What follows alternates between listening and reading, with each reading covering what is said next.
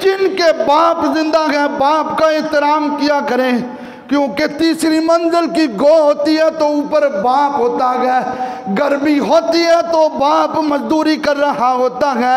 چاہے دکان ہو، چاہے مل ہو اوور ٹائم باپ لگا رہا ہوتا ہے۔ مجھے حدیث پاک سنیں، نئے نئے موضوع پڑھتا ہوں تو نئی نئی باتیں ملتی ہیں۔ مستدرک میں حدیث موجود ہے، ایک مدینے کے بازار میں حضرت عباس رضی اللہ تعالیٰ عنہ کھڑے تھے۔ ایک آدمی آ گیا، دوسرا بھی آ گیا۔ گیا، اس آدمی نے حضرت عباس کے ابو جی کا ذکر شروع کر دیا۔ ان کے ابو جی حضرت عبد المطلب رضی اللہ تعالیٰ عنہ میرے آقا کے سگے دادا جی تھے۔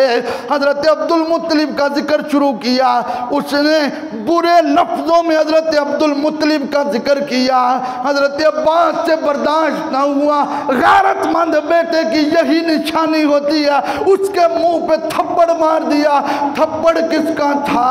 حضرت مولا علی کے چچا کا تھا۔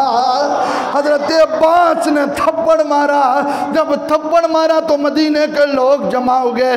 خاندان والے خاندان والوں کی حمایت کرتے ہیں، وہ قبیلے والے جمع ہو گئے، انہوں نے کہا، ہم نے عباس کو تھپڑ مارنا گئے میرے نبی کے پاس جب کیس پہنچا، میرے آقا نے ممبر سجا لیا۔ حضور ممبر کے اوپر کھڑے ہوئے۔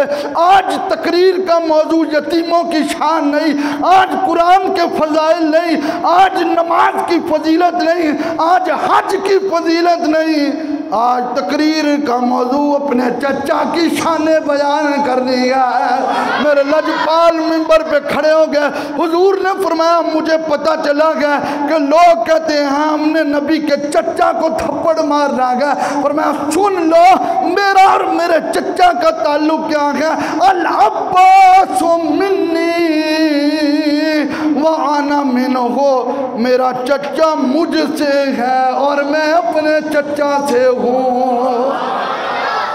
گویا اسی ممبر پہ ہم کہتے ہیں حسین منی وانا من الحسین۔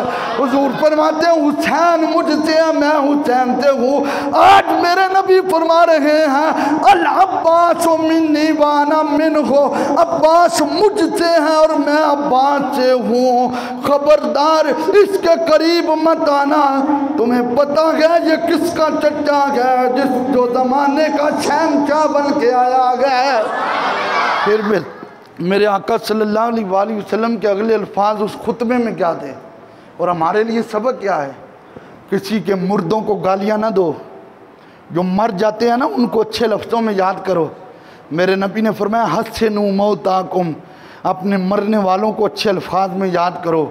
ہاں اگر تم اچھے لفظوں میں مرنے والے کو یاد کرتے ہو تو اللہ فرماتا فرشتوں اور دیکھو جس کو میرے بندے اچھا کہہ رہے ہیں، میں کیوں نہ بخشوں؟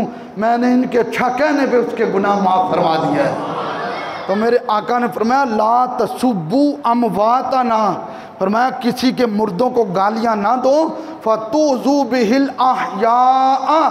جب تم کسی زندہ آدمی کے تعلق والے فوت شدہ کو گالی دو گے تو فرمایا زندہ لوگوں کو تکلیف ہوگی، لہذا گالیاں دے کے ان کو تکلیف نہ پہنچاؤ، بلکہ ان کو اچھے لفظوں میں یاد کر کے جو زندہ ہیں ان کے دلوں کو خوش کرتے جاؤ۔